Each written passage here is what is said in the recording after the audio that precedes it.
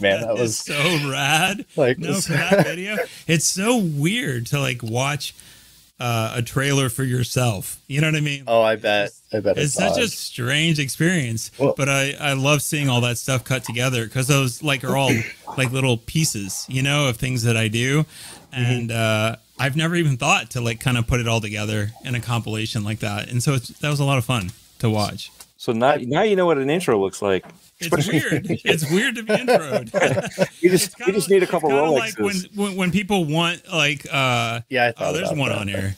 When yeah. people want um uh, an introduction of you, you know what I mean, and you're supposed to like do it on the spot, and mm-hmm. it's hard to know where, where to start or what to cover or whatever. And uh, it's neat to have you guys do the little compilation intro for me. So I think you did a good job, Husk. That was really well. Cool. Hey, thanks. I appreciate it. I'm glad. I'm glad you like yeah. it more more than anything. So they're cool things. I mean, who doesn't like? But it's probably weird watching yourself. Like it's, it's, really weird. I'm sure it's weird. A lot of this stuff takes getting used to, you know, because like yeah. um, I spent the you know better part of my career as an engineer inside of the bubble that's inside the bubble that's inside the bubble that is a development studio, you know, which we can talk more about. Um, and so all of this public facing stuff is like super different and weird and strange, you know, and um, it's always just been kind of the game itself, you know, like our work that has been in front of people instead of fun. you actually. Yeah, yeah, and so actually participating with the audience and uh, by the way, there's a reason like for all this. It's not just I decided I want to have a Twitter account or something.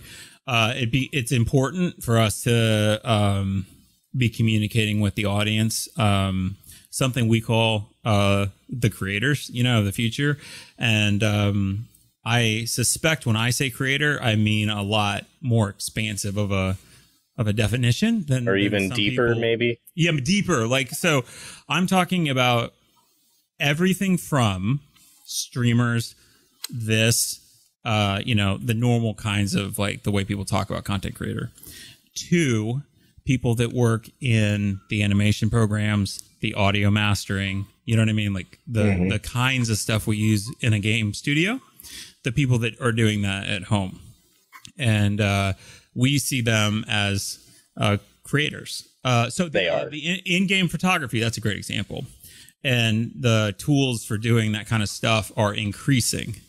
And I have to be careful about how I talk about this, but like the ability to modify a game is increasing, right? Um, a, a good friend of mine said this really well. They said that their kid said to them once, this is years ago, but their kid said one time about Minecraft, sometimes I'm playing in this game and sometimes I'm making the game. You know, sometimes I'm creating in the world, and sometimes I'm playing in the world.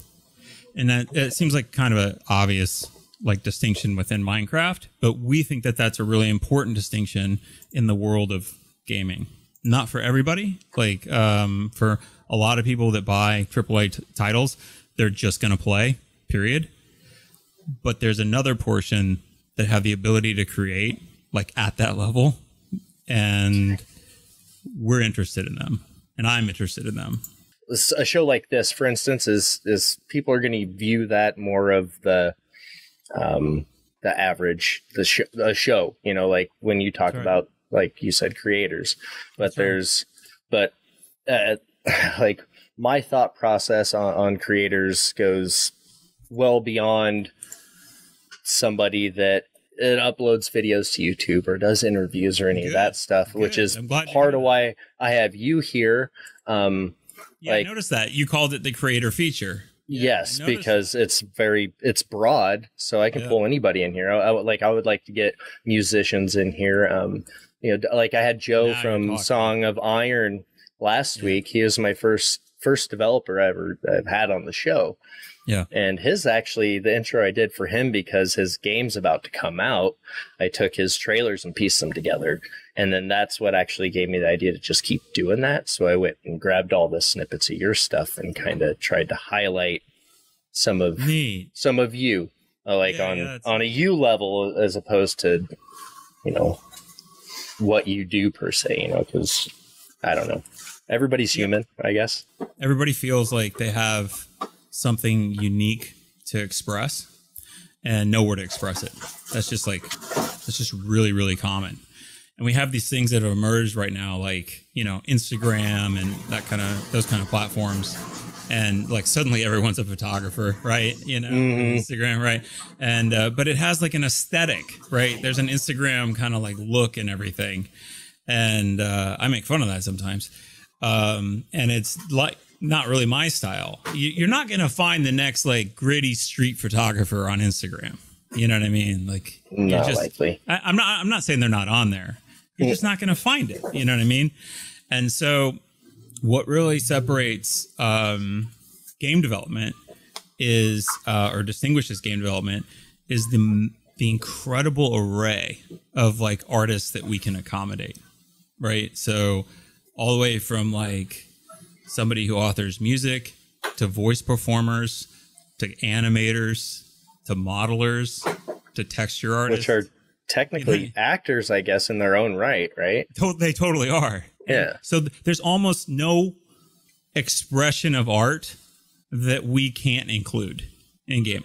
I mean, it's just like it's so wide.